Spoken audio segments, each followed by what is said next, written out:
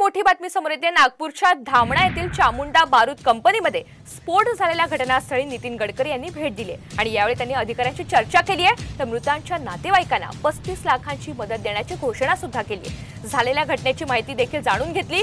बुधवारी झालेल्या स्फोटामध्ये एकूण सहा जणांचा मृत्यू झालेला होता. तर सात जण या दुर्घटनेमध्ये जखमी झाले. त्यांच्याकडनं आणि दहा लाख रुपये आपल्याला महाराष्ट्र सरकारकडनं जे जे मृत झालेले आहेत त्यांना आपण पस्तीस लाख रुपये या ठिकाणी मदत म्हणून देऊ. आपण शासनाच्या वतीने फ्री ऑफ चार्ज करून देऊ. आपल्याला कुठल्याही प्रकारची मदत लागली तर मला कळवा. सगळ्या प्रकारची मदत आपण त्यांना जी काय करता येईल ती सगळ्या प्रकारची मदत आपण करू.